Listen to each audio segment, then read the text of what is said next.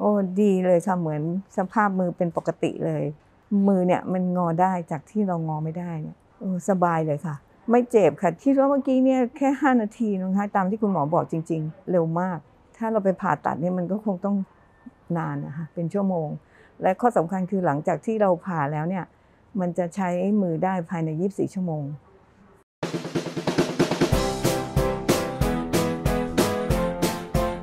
ชื่อจงดีเชื้อหยกค่ะ อายุ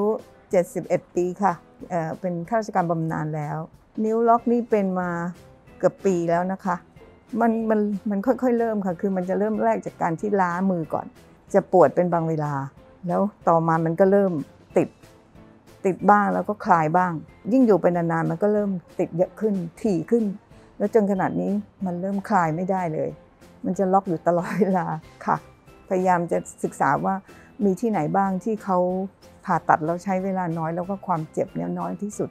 ก็ตีไปอ่านเจอในนิตยสารว่าคุณหมอเนี่ยมีความสามารถในเรื่องนี้มาก ก็เลยตัดสินใจว่าควรจะมาที่นี่ เพราะว่าใช้เวลาน้อยแล้วก็ความเจ็บน้อยมาก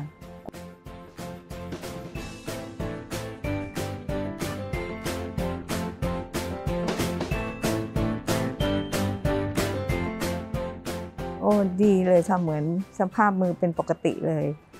มือเนี่ยมันงอได้จากที่เรางอไม่ได้สบายเลยค่ะ ไม่เจ็บค่ะคิดว่าเมื่อกี้เนี่ยแค่ 5 นาทีนะคะตามที่คุณหมอบอกจริง ๆ ค่ะว่าเร็วมาก ถ้าเราไปผ่าตัดเนี่ยมันก็คงต้องนานนะคะเป็นชั่วโมง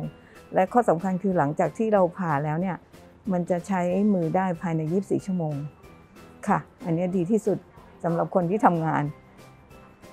ก็ขอบพระคุณคุณหมอมากค่ะ ที่ช่วยให้